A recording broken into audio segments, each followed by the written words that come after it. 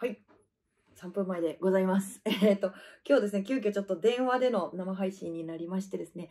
えー、それにはね、ちょっと理由があったんですけれどもね、前回私終わりがね、やらかしたので、今日はこうしてちゃんと時間をね、いやでも今日もね、ちゃんと時間通りいけるかマジで不安なんですけれどもね、頑張っていきたいと思いますね。まもなく多分電話がかかってくると思いますので、今17時57分、本番3分前でございます。やべ、ちょっと鼻かみたくなってきた。鼻がムズムズしてきた。ティッシュない。よし、OK、大丈夫。いける。あ、すげえ、ティッシュが飛ん飛んできた。よし。うんうんうんいいですね。うん、電話とかもほんと久しぶりですね、多分。なっちゃんたちがいた未来上以来だと思うんでね。うん。そろそろかな？電話がかかってくるかな？時刻は夜18時を回りました。これね、見ながらできるかな。こんな、なんか、ね、頑張ろう。あ、電話かかってこねえ。ビビる。あれもう2分前だよ。ん？大丈夫だよね。もう親知らずが痛い。えー、かかってこないよ。ん？怖いぞ。大丈夫かな ?1 分前。お腹痛いよ。大丈夫だよな、私。あれ押してないよね。あ、お腹痛い。電話かかってこない。どうしよう。え、マジでビビる。あと20秒だよ。あれ、どうして？どうして？あ、来た来た来た。よろしくお願いします。はお願いします。ははいい、すいません。じゃあ、買いません。い。ギリギリ。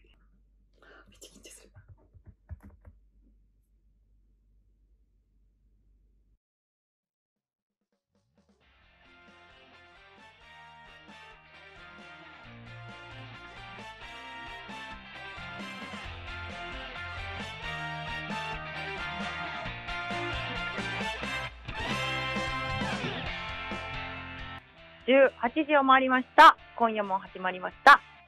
生きづらいけど生きてやる系シンガーソングライターの風見静香です。いけてるのかなこれ？大丈夫ですよ。大丈夫ですよ。どうぞ大。丈夫。失礼しました。よかったよかった。ごめんなさい。失礼しました。よかった。はい。安心した今一言も失礼いたしました。ということで、今夜も始まりました。生きづらいけど生きてやる系シンガーソングライター風見静香の大丈夫一人じゃない。この番組は生きづらいけど生きや、生きづらい、生きづらいように生きやすくをモットーに、生きづらさを抱えている人たちに私も一緒だよというそんな勇気とメッセージを届けていきたい、そんな番組でございます。久しぶりの生電話の生放送でお届けしております。えー先月ですね、6年ぶりぐらいにですね、生放送をお届けしたんですけれども、本当はね、今日もスタジオの方に行きたかったんですけれども、本日はこちら、横須賀中長屋にね、えー今来させていただいております。なのでね、今日はちょっとお電話にて、ね、生放送でお届けしていこうと思います。このお電話の生放送もマジで超久しぶりなので、ちょっとドキドキでございますが、今日も最後まで楽しみでいただければと思います。ということでですね、今日ですね、まあ、電話にした理由の一つとして、この横須賀中長屋の代表であります、和田真一さんをですね、ゲストでお届けしようと思ってたんですけれども、なんとですね、えー本当にこの横須賀中長屋、もうたくさんの子供たちがね、えーここを利用しているんですけれども、ちょっとトラブルがございまして、本当にね、急遽、今、本当ついさっきまでね、こういらっしゃったんですけれども、ちょっと急遽、今日、今、出れなくなってしまってですね、もしかしたら、帰ってくるかもしれないんですけれども、ちょっとそれはね、あの、生ならではのね、ちょっとどうなるかわからないお楽しみでね、聞けろさ、ラッキーということでね、えーちょっとだけね、風見静香一人でね、えー今日もお届けしようと思いますけれどもね、どうぞどうぞ最後までお付き合いいただければと思いますので、よろしくお願いいたします。はい、ということで今日はですね、私、まあ今横須賀にいるんですけれども、今日は、えー横須賀の、えー、コース、コー、コースカベイサイド、ちょっと名前を間違えてるかもしれませんが、で、ピンクシャツデー運動というイベントがですね、今日開催されまして、片見はそちらの方で歌わせていただきました。で、ピピンクシャツデーっていうね、あの、聞いたことある方いらっしゃらない、聞いたことない方もね、結構多いんじゃないかなと思うんですけれども、えー私はですね、このピンクシャツデーというのをですね、横須賀中長屋のここの代表の和田さんというね、和田真一さんがですね、えーと一緒に子ども食堂の歌という曲を作らせていただいたんですけれども、その歌は和田さんが、え歌詞を書いて、私が曲をつけたという子ども食堂の歌という曲なんですけれども、その歌詞の中にピンクのシャツ着て、えー行こうというようなね、ピンクのシャツ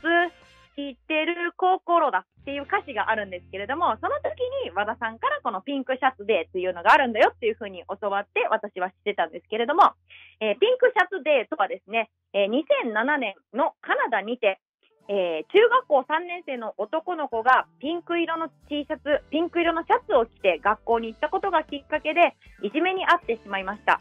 それを見ていた高校3年生の男子生徒2人がですね、もういじめなんてうんざりだと。なんとかアクションを起こしてやろうということで、その2人はその放課後ですね、ピンク色の、えー、シャツだったりだとか、ものをたくさん買い集めて、その日の放課後、えー、みんなでですね、学校のネット掲示板やメールを通じて、明日みんなでピンク色のシャツを着ようという呼びかけをしました。え翌朝、みんなに配ろうと大量のシャツを持って学校に行ってみると、多くの学生が自らピンクのシャツや小物を身につけて登校し、えー、学校中がピンク色になりました。えー、たくさんの生徒たちが、えー、そのね、彼らの思いに賛同して、え学校がピンク中にな、ピンクだらけになって、いじめを受けていた生徒は安心して通えるようになって、その学校でのいじめは自然になくなったという、そんなね、素晴らしいエピソードがきっかけとなりまして、2008年からこのピンクシャツデーというのは、えー、2020、えー、ごめんなさい、2月22日にですね、毎月、だからあさって水曜日ですね、今度の、今度の水曜日にピンクを身につけて、いじめの反対だというね、そんなメッセージを送っているという、そんなカナダの高校生たちがきっかけになった学生たち発端のイベントというかね、この、なんていうか、運動がですね、えー、あるんですよ。それが今日、横須賀の方で開催されておりまして、風見はそこで歌わせていただきました。もうものすごく素敵なね、えー、すごいですよね。この高校生たち2人から、しかもたった一夜で、このたくさんの学生たちが賛同したということでですね、えー、こんなピンクシャツデーというね、もう2008年からですから、もうめちゃめちゃもう長くずっとずっと続いている、そんなイベントになっておりますが、まだまだね、日本ではね、知られてない方もたくさんいるんじゃないかなと思いましたのでね、えー、今日をきっかけにですね、ぜひこのラジオを聴いてくださった方はですね、ぜひぜひ2月22日はピンク色のシャツを着てね、まあ、いじめってものすごくね、ナイーブな問題なのでね、えー、すごくこう、ね、声を大にして反対だとかね、言うのってすごく勇気がいると思うし、私も正直、このいじめというものに関しては、ものすごくなくそうとか、なんか綺麗事は言えないなって私は思っています。でね、あの、学校のね、生徒の皆さんと一緒に、えー、私の大丈夫というね、風見静香のアルバム、風見静香というアルバムの中に入っている大丈夫という曲があるんですけれども、その大丈夫という曲はですね、えー、下妻中学校、茨城県の下妻中学校の皆さんと一緒に作ったいじめ撲滅ソングとしてね、作らせていただいた、えー、曲になっています。えー、あの曲をですね、書いた時にですね、えー、その曲自体はですね、あの、中学校の下妻中の皆さんが、えー、学年全員がえー、標語？いじめの標語を作ってもらって、それをきっかけに、あ、その言葉を使って私があの歌を書いて、で、その出来上がった歌詞を、生徒会の皆さんと一緒に添削してって出来上がったのが大丈夫という曲なんですけれども、まあね、あの、生徒の皆さんとね、こう、いじめというものをどうしたらなくなるだろうかって、やっぱ話したことがすごく、えー、その意味があったなと思っていて、で、やっぱりね、こう、みんなと話していて思ったことは、やっぱり誰もいじめをしたいと思ってる人って、ほぼいないんじゃないかなっていうふうに、ね、なりました。えー、なんか、本当はしたくないし、なくなってほしいと思ってるけど、でもやっぱり、今度自分がそれでもしじゃあそのいじめやめようよとかって一人ね、言い出しちゃったら、この時もね、ピンクのシャツ着て、いじめなんてやめようぜって、きっと一人だったら難しかったと思うんです。そのま、今度またその子が一緒にいじめられてしまったりとかさ。でも、たくさんの人たちでいじめなくそうよって言ったらね、いじめはなくなっていく。やばい、今何を喋っていたか飛んでってしまったんですけれども。そうそう。でね、そうそうそう。で、あの、そうそうそう、いじめのね、そう、曲をね、風見静が大丈夫という曲で作ったわけなんですけど、そうそう、誰もね、そうやりたくないけれども、でもやっぱり右向け右なね、こう、みんなが、えー、同圧同調圧力がすごい中、一人だけ違うことをするって、ものすごく勇気がいることだと思うんですよね。うん、でも、それでもこうやってね、みんなで、やっぱりこの、暴力とか、えー、そういうものじゃなくて、この行動という、このね、ピンクのシャツ着て反対だっていうのをね、このメッセージとして届けていくというね、ものすごくいいイベントだなってね、私も思わせていただいています。でね、まあ本当に、あの、いじめをなくすことって難しいって私も思ってます。なんて言ったって大人だって知ってるのでね、大人だっていじめが始まってしまうことだってあるわけですよ。それなのになんかね、大人が子供たちに向かっていじめなんてしちゃいけませんとか、いじめはダメよっていうのは、私はなんか違うなってずっとずっと思っていました。で、このね、大丈夫という曲を作った時に、みんなと話させて本当に感じたことは、あの、私、中学生の時にですね、まあ、誰もがね、いじめってきっとしたこともあるし、されたこともある。誰もがきっとどっちも体験してるんじゃないかなって私は思ってるんですけれども、まあ私は中学校、まあ私学校に行けなくなった経験があって、まあその時もですね、私はすごく辛いいじめがあったっていうよりかは、本当に女の子たちとなんかあるじゃないですか。ね、中学生の女子とかね、あの、ちょっとね、あの、大人になってきた女の子たちって怖いわけですよね。まあ私はちょっとこう無視をされてたっていうのがまあ一つのきっかけではあったんですけれども、ね、まあそれが小学校の時で、中学校の時に関しては部活、ね、ソフトボール部だったんですけれども、当時ものすごい私たちの学年はですね、いじめがひどかったんです。で、最初メンバーね、多分9人いたんですけれども、2人辞めてしまって、それはいじめがきっかけで辞めてしまいました。で、最後に1人残った子はずっといじめられていて、すごい長かったんですね。なんかこう、中学校あるあるだと思うんですけど、一人一人ね、次順番に来るわけですよ。で、私ももちろんね、仕方された日もありました。でも一人の女の子だけがずっと長く続いていて、でもね、これはもう本当にどうすればいいかも自分たちもわからなかったです、私も。もし私に、その頃の私に勇気があったら、その女の子に一緒に帰ろうとか、キャッチボール一緒にしよう、ソフトボールってね、そう、二人一組になってとかがあるんでね、もうこれがめちゃくちゃ酷なわけですよ。ね、一人一緒にやろうとか、その勇気が私にあればね、もしかしたらあの子を救えたかもしれないんですけど、当時の私は、私も次またいじめられるんじゃないかって怖くて、やっぱりできなかったんです。で、そこからどうやっていじめがね、なくなったかっていうと、私たちはですね、先輩と先生が介入してくれたんです。ある日、えー、先生と先輩が私たち全員を呼び出してですね、1年生、私たちの当時1年生だったんですけども、1年生を呼び出して、お前らいじめしてんだろうって、もう全くオブラート包まないでですね、お前ら何やってんだと、いじめなんてやってんじゃねえって、もうオブラートに包まずに言われて、で、今ここで、まあ、謝りあいこしてっていう、まあ、とにかくきっかけを作ってくれたんですね。で、そうやって先輩と、え、先生が介入してくれたおかげで、無事私たちの、え、部活動はですね、いじめがなくなりまして、で、その女の子ともですね、かい、なんていうの？会話、会話じゃなくて、えー、仲直りして、いやでもね、その子は本当に強い子だなって本当に思うんですけどね、その子が、えー、いずれ3年生になった時はですね、部長になって、私は副部長だったんですけれども、本当にすごい強い子だったなって思うけれども、なんか、この経験が私はあったので、いじめってなくせるんだなっていうのを心から今言えるなと思っています。今日この話をすればよかったなってね、あの、私、ライブ中その話すればよかったって思ってたんですけどね、すっかりもう緊張であれだったんですけれども、そう、だからなんか私は確かに亡くなった経験あったわと思って。でどうしてもこういう運動とか活動をね、やっている身としてこんなこと言ってはいけないけども、実際難しいよなって、本当は私も思ってました。でもよくよく考えたら、やっぱり第三者とか、どれだけ周りの人間が力を貸すかで、私はあの鍵など、それによって解決できるかどうかっていうのは、すごく大きく変わってくるんじゃないかなと思っていて、で、ね、実際に、えいじめを受けている本人が声を上げることって、ものすごく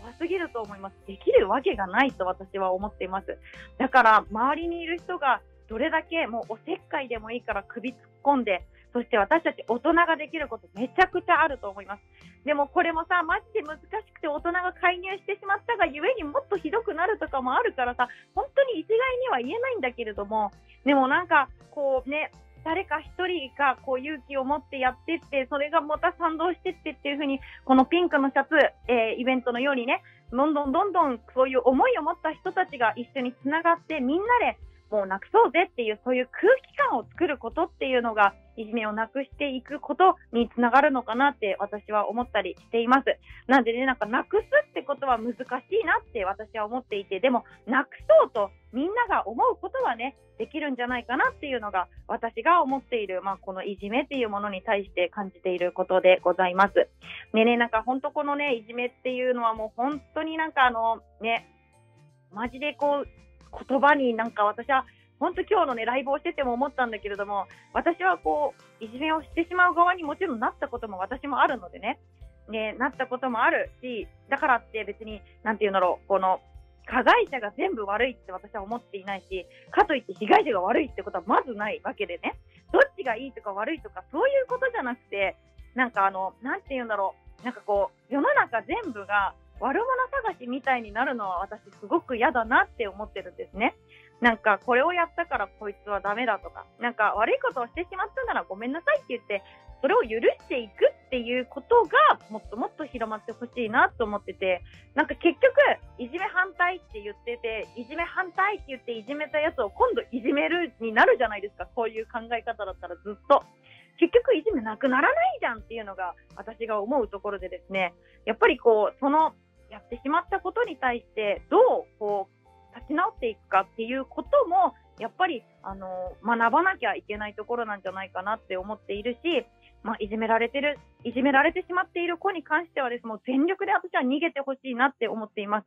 なんかもう、ね、学校っていう、この狭い狭いね、えー、中で苦しい、本当に辛い、本当に辛いですよね。もう本当にあの無視とかマジできついですよね。もう私がないけど、そんな大したことないいじめでも本当に辛かったので、だからもうなんか全力でそういう生徒はね逃げてほしいなっていうのが私は思っていることだし、もう絶対こう声を上げることは勇気がいると思うけれども、そこに手を差し伸べられる大人がいてくれることがものすごく重要だろうなと思うのでね、え、その大丈夫という曲の中の歌詞にね、大丈夫って、えー、声をかけることが大事だよねっていうような、そんな歌になってるんですけれども、ぜひね、あの、ちょっと気になるなっていう子がいたりだとか、この子大丈夫かなって思う人がいるのであればね、どうした？大丈夫？ってそのたった一言を言うだけでもね、絶対にその子は救われると思うんです。そして、どんなあなたでもいいんだよって。どんなにその子が普段ね、もうブロック語に言われちゃってたとしても、いや、あなたは立派よって、あなたは全然そんな風にいじめられるような人間じゃないんだよって、大丈夫だよって。言ってくれる大人が近くにいれば、もっともっとその子は生きやすくなるのかなって思っています。なのでね、なんかこう、頭ごなしにね、こう、ね、よく私は言ってるんですけれどもね、こう、死にたいとか言ってるね、子供たちに対して死ぬなんて言うんじゃないっていう大人がたくさんいるんですけれども、まずはですね、その死にたいって思う気持ちも受け止めてあげてほしいなって私は思ってます。だってそんだけ辛いんだもん。なんかそこをね、こう否定しないで、そりゃ辛いよって、そりゃ本当に死にたくなるよって言ってくれる大人がね、さん増えてほしいなっていうのが私が思っていることでございます。なんかね、こう、ものすごくね、私自身ね、あの、今回ここのね、まあ、横須賀中長屋に今いらっしゃいるんですけれども、和田さんと、えー、一緒にこういう思いを、えー、通じ合うことにきっかけになったのが、まあ、私の人でいたいっていう曲ももちろんなんですけれども、えっ、と、もう今ちょっとね、変わってきてはいるんですけれども、9月1日がですね、18歳以下の子供たちの自殺がえー、一番増える日と言われているんです。で、まあ、その自殺の原因っていうのは本当にまあ、紙、なんだ、一つでは絶対にないと思うんですけれども、その中でいじめっていうのはものすごく大きなワードだと私は思っています。で、その私が9月1日は子供たちの自殺がたくさん増えるんだよというブログをね、書いていた時にそのブログを見たことがきっかけでですね、和田さんもですね、あ自分も何かできることはないだろうかと、当時まだ、え、トラックのね、運転手さんだったんですけれども、仕事を辞めて、え、当時横浜に住んでたのに横須賀に移住して、今こうしてここの横須賀中長屋というね、子供食堂をやってらっしゃいます。もうね、すごいのがね、夜ご飯だけじゃなくて、朝ごはんも作ってるんですよ。で、今ね、横須賀長屋プリンとかね、まだ他にもいろんな活動をしてらっしゃいまして、えー、もう本当にね、あの、初めて会った時のトラックの運転手だった和田さんが、今やもうすっかりね、えー、子ども食堂の代表になっているそんな姿を見させてもらって私もすごくすごく感慨深いんですけれどもね、えー、本当に人って変わるんだなって思ったし人ってねできないことってないんだなって本当に私も思わせてもらいました。えー、私ね、和田さんも本当にね、今ね、本当に、うん、せっかくだったんでね、えー、ラジオの方で皆さんにも声をね、かけて、声を聞かせたかったんですけれどもね、えー、でもこれが私は逆にあの、これがあのこの子ども食堂の現状なんだっていうことを伝えられて逆に良かったのかなってちょっと思ったりもしています。本当に日々いろんなことがあります。多分皆さんが思っている100倍ぐらいもういろんなことが起きています。ねなんかただご飯をだけ出してるっていうだけじゃないんですよね。本当にこれもね、ものすごくまあいろんなことがあって、本当に子供たちはいろんなことを抱えています。ね、大人には想像つかないぐらい過酷な子供たちもたくさんいるのが現状です。私が子ども食堂というものに出会った時に感じたことは、今この世の中で、この日本で貧困、貧困、えっと、ご飯が食べれなくて、苦しんでる子供がいるっていうことがそもそも信じられませんでした。でも、この和田さんをきっかけに子ども食堂に関わらせてもらって、子ども食堂に遊びに来るようになって、本当に今この日本でそんな子どもたちがいるっていうのが今の日本の現状なんですよね。もう本当に信じられないんですけれども、ね、でも私たち大人ができることたくさんあるんだなって和田さんに私は教えてもらいました。なのでね、私たちにできることたくさんあると思うので、ぜひ少しでも興味を持ってくださった方は、ぜひ、えー、横須賀中長屋でね、検索してみていただければと思います。そして、えーこの2月22日、今度の水曜日ですね。今度の水曜日、ぜひ、我こそはいじめは反対だって、いじめなんてかっこ悪いんだぞっていうことをね、伝えていけたらなということで、ピンク色のね、何かを身につけて、ピンクシャツデーというね、えー、このタグでもつけてでもいいのでね、ぜひ広めていただければなと思っておりますので、ぜひぜひ2月22日はピンクシャツを着て、皆さんも校に行くなり、まあ、ちょっと学校行きるかもしれないけども、会社に行くなり、このピンクシャツデーをですね、広めていただければと思います。すみません、ということで、えー、今日、すみません、はい、あのメッセージがですね、2通ありがたいこと来てるので、ちょっと代読させていただきますね。聞いてくださいね。まずラジオネームテイテイさんから。お、テイテイさんありがとうございます。テイテイさん、はい、えー、ピンク色の T シャツの意味をこのラジオで知りました。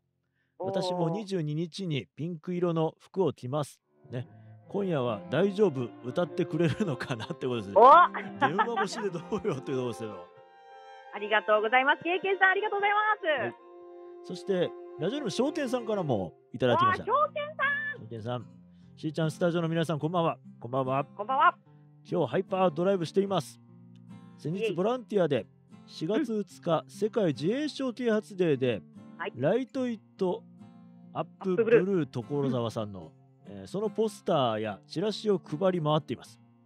自衛省などが、えー、あとは自衛省などか花粉あなるほど。花粉症ぐらい、えー、自衛省が認知度が高くなってくれたら嬉しいと、うん、これからも長男と共に走り続けます、はい、障害タンデムライダー商店。ではでは茨城からうわっしょいラフにチラシと証券さんメッセージありがとうございます。私だよということでございます。はい、はい、ということです。ありがとうございます。はい、以上でございます。はい、はい、たくさんのメッセージも本当にありがとうございます。え先ほどね、吉尾健さんも言ってくれたんですけど、2月22日はこのピンクシャツデーの日、そして4月2日がですね、ライト・イット・アップ・ブルーという発達障害啓発デーになっております。その日は今度、青い T シャツを着てですね、えー、私も啓発していきたいなと思っておりますので、ぜひ4月2日は青い、2月22日はピンクを着て、皆さんぜひぜひ街に歩いていただければなと思います。ということでですね、もうあっという間にね、時間が来てしまいました。えー、こちらの、えー、ラジオのアーカイブもう一度聞きたいという方はですね、YouTube の方にもアップされております。ぜひ YouTube の方も、えー、アーカイブチェックしてみていただければと思います。水曜日頃にはね、えーえアップできるんじゃないかなと思っておりますので、ぜひぜひこちらもチェックしてみてください。ということで今日はですね、最後に曲を流して終わりにしようかなと思っております。ここはさ、もうね、子供食堂の歌が大丈夫が聞きたいと皆さん思ったと思うんですけれども、私、あえてですね、今日ね、あの、横須賀の方でもピアノでね、弾き語りをやらせていただきました。えー、YouTube の方に上がっております、府中で、えー、社会を明るくする運動でですね、去年歌わせてもらったんですけれども、その時に歌わせていただいた、生きていくことを諦めないでという曲を今日は最後にお届けして終わりにしたいと思います。また来月も皆様、ぜひお会いしましょう。お相手は生きづらいけど生きてる系シンガーソングレーター、風見静香でした。今日も皆様ありがとうございました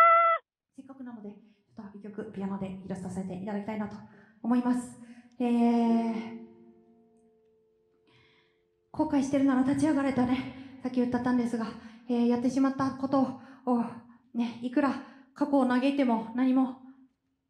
生まなくて、今ここからどうするかだよなって私はそう思ってます。えー、なので、大きな罪を犯してしまった、それを抱えて生きていくことはすごくすごく苦しいことかもしれないけど、それでも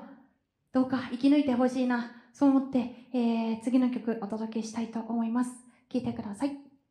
生きていくことを諦めないで。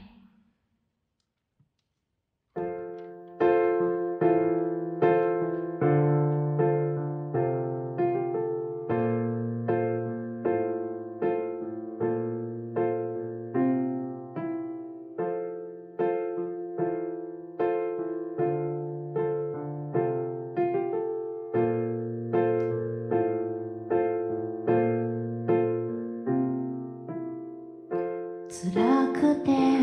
辛くて何もできなくなって怖くて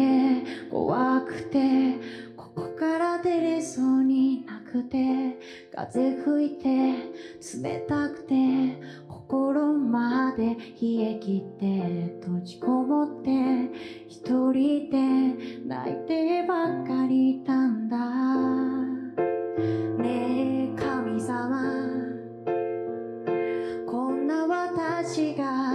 生きてていいのかな？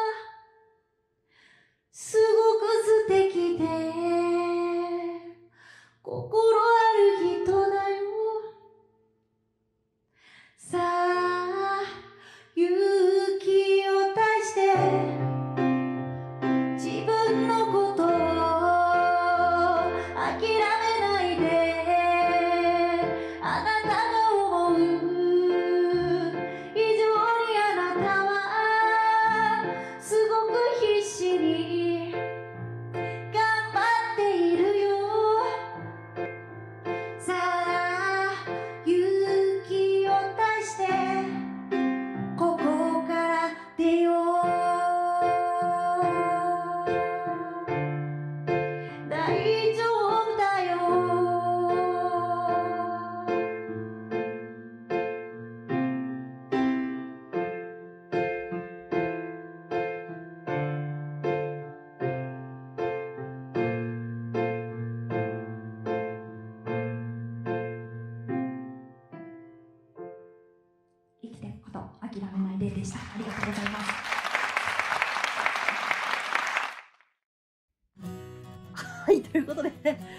汗かいた。もうなんかあの余裕がねちょっと今日もダメですな。私もう本当にダメだ。もうなんか頭がいっぱいいっぱいだった。ちょっとそして残念ながらちょっと和田さんがですね、えー、来ることができなかったんですけれども本当にこれがねこれが現状なんですよ。本当に毎日いろんなことがね、えー、ある中で和田さん本当にね寝ないでもういろんなこと毎日毎日ねやってらっしゃるそんなね和田さんと、えー、前にですね対談もやらせていただいております。ぜひねあの過去の動画で、えっ、ー、とね、横須賀長長屋子ども食堂に行ってきましただったかな、えー、風見の活動というね再生リストもございますのでそちらからぜひ和田さんと私の馴れ初めだったりも話しておりますのでチェックしてみていただければと思います。ということで もう本当にねあのこれはもうね YouTube だから言っちゃいますけど本当はねあの今日ね生放送でねここから行けたらよかったんですけどねどう考えてもイベント終わってから伊豆間に合わねえということになってですね今日お届けいたしました。もう電話の放送めちゃくちゃ久しぶりで最初もなんかもう繋がってんのかよくわからなくて不安だらけでございましたがとりあえずねでも前回私生放送で最後あの喋りすぎてギリギリで途切れちゃってたんで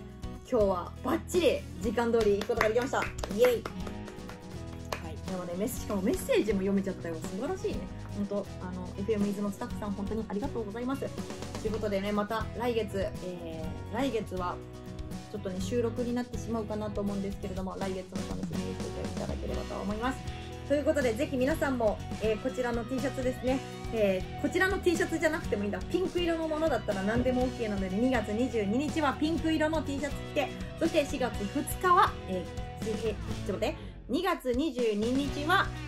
ピンクシャツデー運動。いじめ反対のメッセージでねこれを着て。そして4月2日は自閉症、えー、発達障害啓発デーになっておりましてそこから週間でね1週間はそんなね、えー、啓発運動がされます。えライト・イット・アップ・ブルー、所沢っていうね、えー、毎年私もそちらのイベントで歌わせてもらってたんですけど、今年もおそらく、あのイベントは、歌うイベントとかステージはないのかもしれないんですけれども、えー、航空公園でですね、えー、あの、飛行機が青にブライトアップされますのでね、ぜひぜひ4月2日は緑じゃなくて、ブルーの T シャツ着て、えー、航空公園の方ですね、遊びに行っていただければと思います。私はちょっと4月2日はまた別のイベントで歌ってるのでね、えー、ね、私もぜひ皆さんもいろいろとねメッセージ一緒に届けていけたらと思いますのでよろしくお願いいたしますということで今年 今月も